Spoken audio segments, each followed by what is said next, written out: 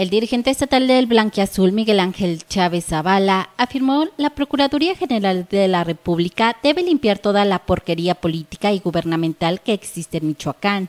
Nos parece que hoy se trata de Michoacán, hoy se trata de Michoacán y es lo que sigue, verdaderamente de limpiar toda la porquería política y gubernamental. Toda la porquería política y gubernamental de un grupo político que durante décadas gobernó y cogobernó en Michoacán.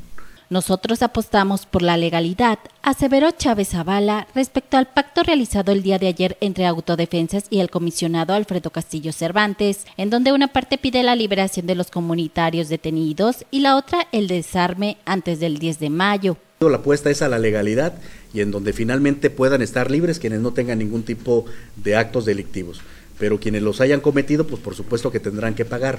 Esa es la lectura que nosotros le damos al acuerdo. No es un chantaje. En el tema de los autodefensas de Yurecuaro, a quienes se les acusa de terrorismo y de estar involucrados en el asesinato del presidente municipal de Tanuato, mencionó. Sí me parece, y lo digo con toda responsabilidad, un exceso. Me parece que acusarlos de terrorismo, pues hoy estarán obligados a probar que se cometió ese delito. Yo tengo mis dudas.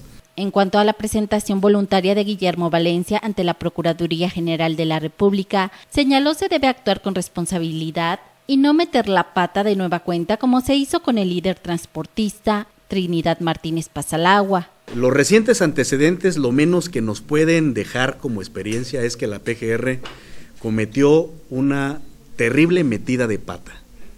Terrible metida de pata con haber eh, presentado a José Trinidad Martínez Pasalagua y luego haberlo liberado si no tenía la seguridad de que había los elementos probatorios para el arraigo o para la consignación. Tal acción solo metió ruido al Estado, lo cual no beneficia a nadie, opinó. Que le mete un enorme ruido a un proceso de, judicialización que no es conveniente en Michoacán.